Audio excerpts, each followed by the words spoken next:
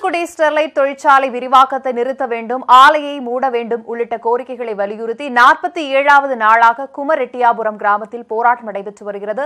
இதுகுறித்து எமது தூத்துக்குடி செய்தியாளர் முரளி முரளி கணேஷ் தரும் தகவல்களை கேட்கலாம். முரளி கணேஷ் தற்போது நாற்பத்தி ஏழாவது நாளாக அவர்கள் போராட்டத்தை முன்னெடுத்திருக்கிறார்கள். இன்றைய தினம் எந்தெந்த அமைப்பை சேர்ந்தவர்கள் இந்த போராட்டத்திற்கு ஆதரவு தெரிவித்து களத்தில் இருக்கிறார்கள் அவர்களின் போராட்டத்தின் வடிவம் எந்த மாதிரி இருக்கிறது? விரிவான தகவல்கள்.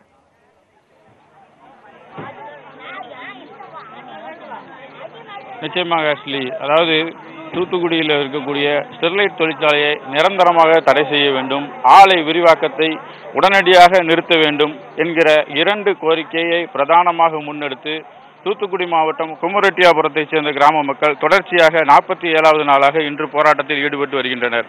இந்த போராட்டத்தில் ஈடுபடக்கூடிய மக்கள் காலையில் காலையிலே இந்த போராட்ட பந்தில் வரக்கூடிய இங்கேயே உணவு சமைத்து சாப்பிட்டு இரவு இங்கேயே தங்கி தொடர்ந்து இந்த போராட்டத்தில் ஈடுபட்டு கொண்டு வந்திருக்கின்றனர்.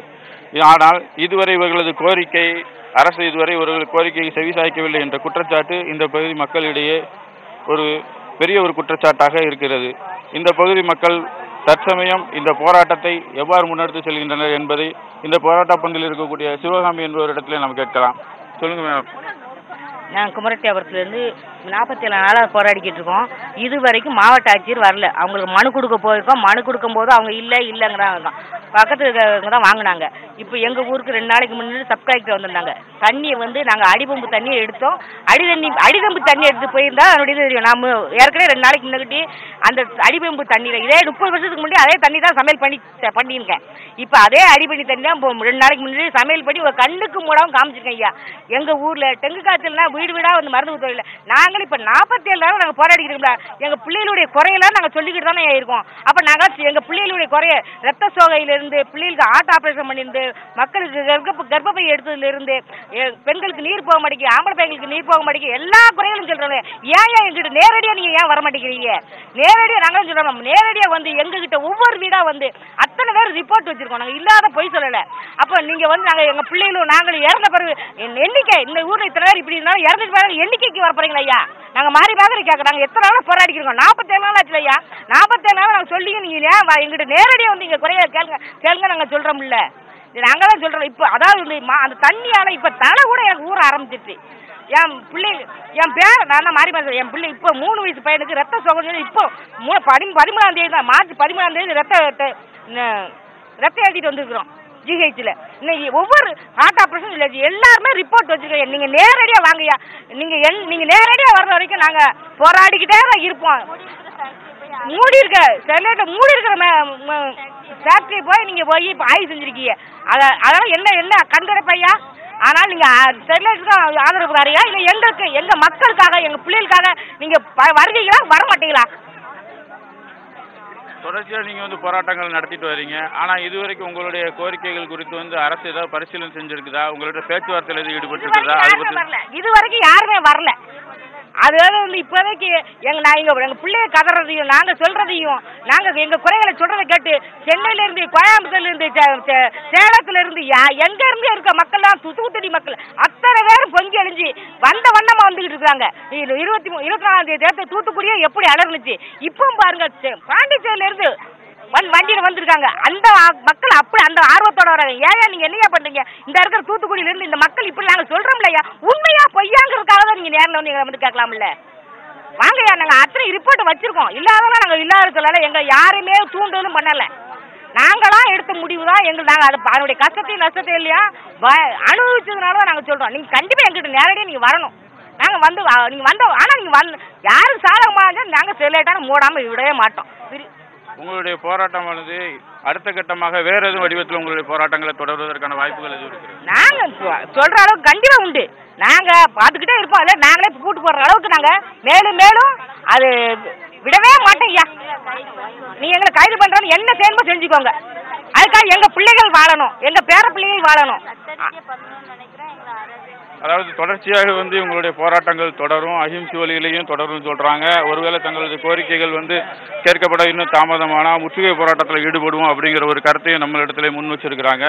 இதனிடையே நேற்று இரவு போராட்ட பந்தலில் இருந்தபோது காவல்துறையினர் வந்து இந்த போராட்டத்தில் வெளியுறை சார்ந்தவர்கள் இரவு இங்கு தங்கக்கூடாது என்று அவர்களை கைது செய்ய முயற்சியிருக்கிறதாக புதிய பொதுவுடைமை இயக்கத்தைச் சேர்ந்தவர்கள் வந்து நம்மிடத்தில் குற்றச்சாட்டியிருக்காங்க இது குறித்து அந்த அமைப்பைச் சேர்ந்த ரோசி என்கிறவர்கிட்ட நம்ம பேசலாம்.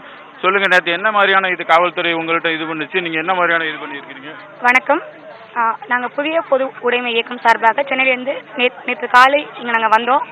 ஸ்டெர்லைட் ஆலையை இழுத்து மூட கோரியும் ஸ்டெர்லைட் ஆலையின் விரிவாக்கத்திற்கு எதிராகவும் தூத்துக்குடி மக்களின் குமரட்டிபுரம் மக்களின் போராட்டத்திற்கு ஆதரவாகவும் நாங்கள் இங்கே வந்தோம்.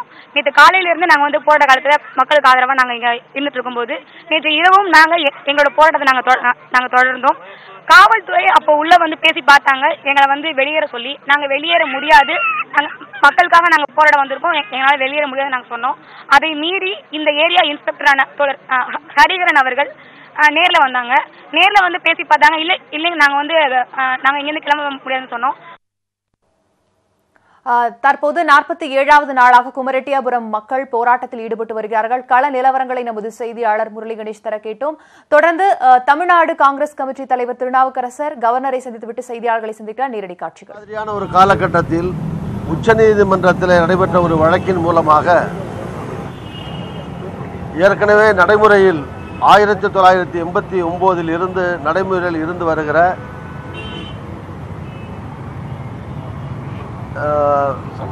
prevention of atrocities against SC ST act of nineteen eighty nine ஆயிரத்தி தொள்ளாயிரத்தி எண்பத்தி ஒம்போது தலித் மக்களுக்கு எதிரான வன்கொடுமைகள் தடுப்பு சட்டம். அந்த சட்டத்தில் சில ஷரத்துகளை நீர்த்து போக செய்கிற விதத்தில் இந்த சட்டத்தை வலுவிலக்க செய்கிற விதத்தில் தீர்ப்பினுடைய சில பகுதிகள் அமைந்துள்ளன. இதனாலே தலித் மக்கள் மீதான வன்கொடுமைகள் அதிகரிப்பதற்கான வாய்ப்பும் அவர்கள் தங்களுக்கு நிவாரணம் பரிகாரம் தேடிக்கொள்ள